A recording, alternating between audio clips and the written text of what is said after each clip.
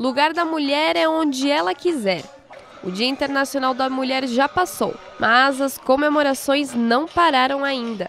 Dá só uma olhada nessa mulherada empolgada.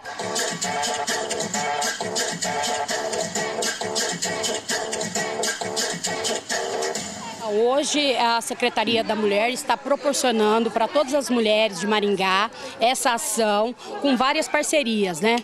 Nós temos aí a Secretaria de Saúde que está nos proporcionando também é, várias ações. Nós temos o Senac com corte de cabelo. Pessoal, e olha só quem marcou presença também no evento de hoje, o curso de fisioterapia da Unicesumar. Professor, o pessoal está bastante animado. Quais são os serviços que vocês estão oferecendo? Sim, nós estávamos com é, os pacientes uma fila aqui para eles serem avaliados e nós estamos avaliando os pacientes e realizando algumas orientações na área de fisioterapia e encaminhando para os tratamentos quando necessário.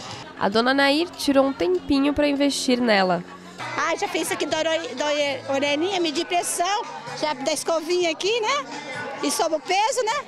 E vou continuar fazendo outras coisas, né? Aproveitar, né?